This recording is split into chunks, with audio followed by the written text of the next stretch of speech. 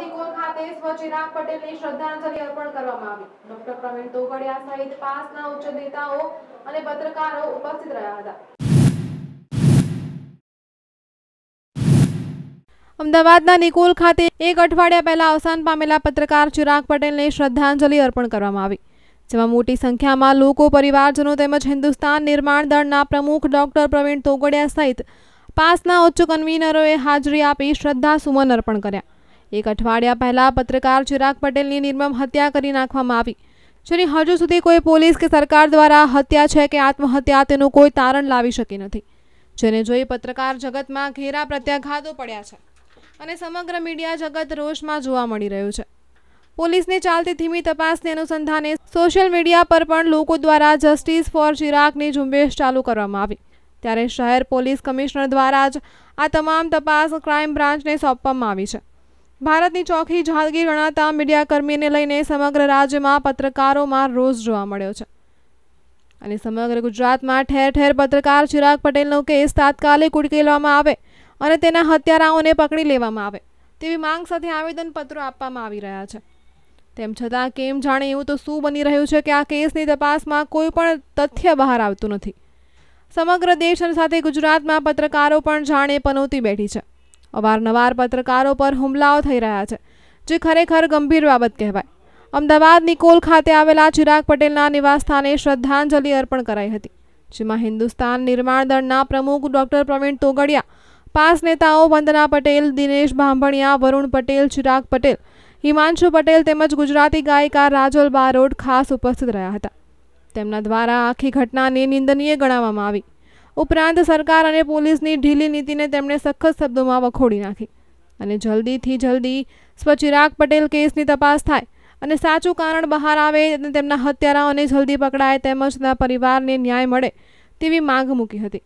આ કાર્યક્રમ દરમિયાન સમગ્ર મીડિયા જગતના પત્રકારો, સ્નેહીઓ ખાસ ઉપસ્થિત રહ્યા હતા. તો શ્રદ્ધાંજલિ દરમિયાન ચિરાગ પટેલના ભાઈ દ્વારા સરકાર અને પોલીસને તાત્કાલિક આ બાબતની જલ્દી તપાસ કરી ન્યાય મળે તે માટે ખાસ અપીલ કરવામાં આવી હતી. સૌથી તો પહેલાં દૂષક પ્રસંગે એના પરિવારને, એના ઉપર જે આ દુઃખદ ઘટના તૂટી પડી છે, જે પરિવારનો હોય, એને જે વેદના વધારે થતી હોય છે. અને મને પોતાને એટલા માટે કે વી ટીવીમાં હતા, પછી એબીપીમાં હતા અને છેલ્લા ટીવી નાઇનમાં. ખૂબ ઉત્સાહી એગ્રેસિવ અજાત શત્રુ કહેવાય એવો એક સરસ મજાનો યુવાન ગુજરાતના લોકોની સાચી લાગણીઓને ટીવીના માધ્યમથી મૂકવામાં એને ખૂબ સરસ કુશળતાથી હું આ તબક્કે પરમ કૃપાળુ પરમાત્મા ભગવાનને હું એવું વિનંતી કરીશ કે જ્યાં હોય ત્યાં એને શાંતિ મળે અને એના પરિવાર ઉપર જે ન પૂરાય એવી ખોટ પડી છે, એ પુરાવામાં ભગવાનના આશીર્વાદ રહે એવી આપના માધ્યમથી પ્રાર્થના કરું છું. હું આ તબક્કે રાજકારણ નહીં કરું, પણ છતાંય આપે પૂછ્યું છે, તો સંજય જોશીની સીડીનું બી નથી પકડાયું. હરેન પંડ્યાનું નથી પકડ્યું. પણ જ્યારે નરેન્દ્રભાઈ કે એવા એકાદ બે જણને કોઈ મર્ડર કરવા આવતા હોય, એમનું ખૂન કરવા આવતા હોય અને એમના એન્કાઉન્ટર થઈ જાય, એમના ખીચામાંથી ચીઠી મળે કે આ નરેન્દ્રભાઈનું એન્કાઉન્ટર કરવા આવ્યો. તો જો આટલી હોશિયાર જોરદાર જો ગૃહ ખાતું હોય, તો એક પ્રજા માટે લડતો, પ્રજાનો પ્રતિનિધિ, ત્રીજી જાગીરનો માલિક, એક રિપોર્ટર, એક જવાબદાર નાગરિકનું આ રીતે મૃત્યુ થાય. અને જ્યારે આખો સમાજ, કુટુંબ અને બધા જ કહેતા હોય કે આની ખાલી ન્યાયિક તપાસ થાય. અને છ છ દિવસ સુધી માત્ર એના આત્મહત્યામાં ખપાવવાનો જે આ સરકારનો મિલિંદ ઇરાદો છે, એ જ આ સરકાર માત્ર આ આ કેસથી દુર્ભાગે છે. અથવા તો આમાં કોઈ રાજકીય માથાઓનો બી ભાગ હોઈ શકે, કોઈ આમાં મોટું કાવતરું પણ હોઈ શકે. અને જો સરકારે, જો આ પ્રજાનો જન્મત જીવતો રાખવો છે, લોકશાહી ડેમોક્રેસીને જીવિત રાખવી છે, તો આ યુવાનના મૃત્યુની યોગ્ય તપાસ કરી ઝડપથી પરિવારને અને ગુજરાતને એક મેસેજ આપવો જોઈએ કે આ અમે તપાસ કરી છે, એ યોગ્ય છે. જો ગુજરાતમાં શાંતિની વાત થઈ રહી છે અને જ્યારે સલામતીની વાત છે, ત્યારે ચિરાગ પટેલના આજે છ દિવસ થયા. અને કોઈ જાતની તપાસમાં તથ્ય ન થયું ત્યારે સરકારની બેદરકારી સામે સવાલો ઊભા થાય છે. અને પત્રકાર મિત્ર તરીકે એક ચિરાગ પટેલની આત્માને શાંતિ માટેના આજે શ્રદ્ધાંજલિના કાર્યક્રમમાં અમે હાજર રહ્યા છીએ. બિલકુલ, હું એ જ કહું છું, પણ આમાં આક્ષેપો, પ્રત્યાક્ષેપો કરતાં પોલીસ તંત્રનો ક્યાંક ને ક્યાંક આમાં ઢાક પીછોડો થઈ રહ્યો એવું માનવું છે. તાત્કાલિક આના અસરે તપાસ થવી જોઈએ અને એના સાચી હકીકત બહાર આવવી જોઈએ. આ મામલે સરકાર ગંભીરતાપણે તપાસ આગળ વધે અને જે લોકો દોષિત છે કદાચ, એના માટે સંપૂર્ણ સંવેદનશીલ સરકાર નિર્ણય કરી રહી છે અને એ મામલે તપાસ પણ આગળ વધારી રહી છે. ચિરાગ જેવા વ્યક્તિ કે અજાત શત્રુ કહેવાય કે આખા ફિલ્ડમાં ક્યાંય કોઈ દુશ્મન ન હોય એવા વ્યક્તિને જ્યારે આવું કૃત્ય બન્યું છે ત્યારે સરકાર સંવેદનપણે આની પાછળ જે પણ લોકો જવાબદાર હશે એના માટે સંપૂર્ણ તપાસ કરી રહી છે. અને યોગ્ય કાર્યવાહી કરવા માટે સરકાર તપાસ કરી રહી છે. અને છ દિવસ પોલીસે કામગીરી કરી, ક્યાંય ક્યુ મળતો નથી, એટલે જ તપાસ ક્રાઇમ બ્રાન્ચને આપવામાં આવી છે કે આમાં જે પણ વ્યક્તિ, જે પણ વ્યક્તિ અથવા કોઈ સંસ્થા કે કોઈ પણ લોકો છે આની પાછળ, તો એને ભાર મેળવી શકાય. પરંતુ સરકાર એના માટે સંવેદનશીલ છે અને એના પરિવારે પણ ગૃહમંત્રીની પણ મુલાકાત લીધી છે. તો હું આપના માધ્યમથી એમના પરિવારને સાંત્વના આપવા માગું છું કે કોઈ પણ જાતની ચિંતા ન કરશો. જે પણ લોકો આની પાછળ હશે, એ ચોક્કસ એને કાયદેસરની કાર્યવાહી કરવામાં આવશે. મોટમ ફોરેન્સિક મારો પણ વિષય રહેલો છે અને પ્રાથમિક આ સ્પષ્ટ હત્યાનો અને મર્ડરનો કેસ હોય એવી પૂરી સંભવિતતા છે. પોલીસે આ દિશામાં તપાસ કરીને હત્યારાઓને પકડીને સજા કરવી જોઈએ. પરંતુ આતંકનું સામ્રાજ્ય કેવું? મારી વિરુદ્ધ રાજસ્થાનમાં કેસ નહોતો, તોય મને પકડવા માટે પોલીસ આવી હતી. ધીમંત પુરોહિતને પૂછો. એક કવર કરવા ગયો તો રસ્તામાં ભગાડ્યો હતો. એ રીતે ઇન્ડિયન એક્સપ્રેસના પત્રકારોને પૂછો. કેટલાક સમયથી ગુજરાતમાં ન પત્રકાર સલામત છે, ન બહેનબેટીઓ સલામત છે, ન બેંક સલામત છે, ન સંપત્તિ સલામત છે.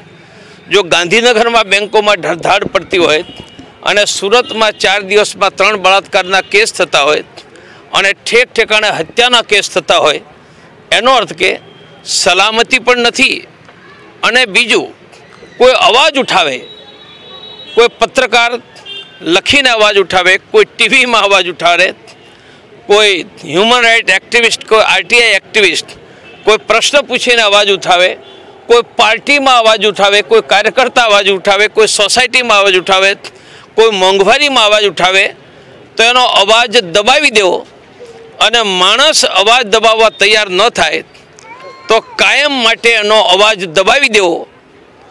આ કેટલાય વખતથી ગુજરાતમાં ચાલી રહ્યું છે.